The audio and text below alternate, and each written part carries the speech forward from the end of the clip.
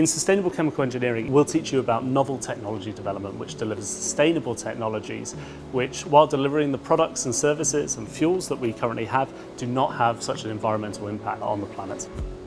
We get to design or redesign existing processes, um, making them more efficient, reducing the size of the equipment, um, reducing the energy they consume, managing the waste that they produce. So in the end, we can move towards a cleaner and safer world for everyone. This course produces um, people that not only understand chemical engineering but also understand how to use the knowledge and skills gained from chemical engineering in a responsible manner in a manner that uses the concept of sustainability to design systems and to design processes that are more sustainable.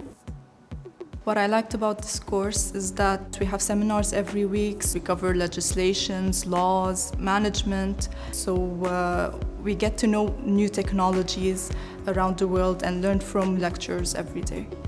The course is a mixture of lectures, problem classes, problem-based learning, we give you the core sustainable chemical engineering information that you need and then build on that. We have elements of design, so you'll design your own sustainable processes and every academic in the Department of Chemical Engineering is research active and delivers sustainable technologies and this really helps the learning and teaching aspects of the MSc course.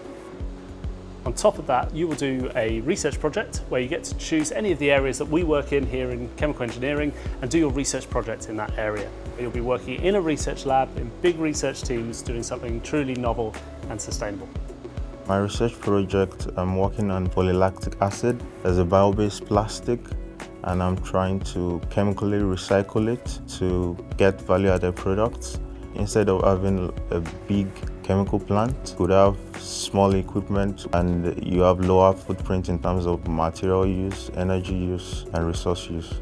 So what I'm doing is coding and we are finding the most suitable locations for photovoltaic solar deployment in the UK. So taking that project, I get to combine not only chemical engineering, but also I have to think about legislation in the UK and also the social impact that deployment might have. My project now is about finding a new technology to use solar light to do a reaction.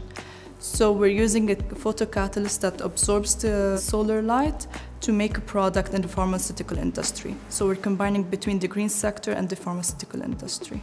Graduates uh, from the MSc programme tend to go in two uh, different career paths. The first is a research career path where they use the MSc uh, research project as a springboard, so maybe go on and do a PhD uh, or work in an industrial research lab developing novel technologies, or they'll go into industry and use the sustainable uh, chemical engineering that they've learned and apply that to more traditional industries.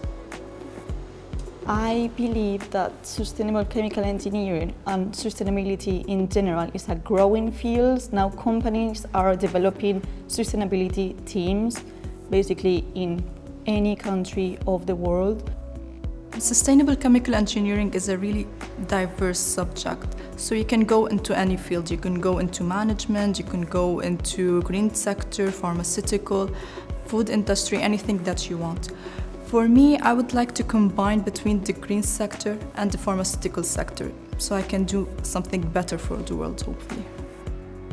Ultimately, the next 20 or 30 years are absolutely key. We have to transition to a more sustainable future. And the only way we can really do that and still deliver the lifestyles that we all enjoy is through sustainable technology development. And at, that, at the heart of that really is sustainable chemical engineering.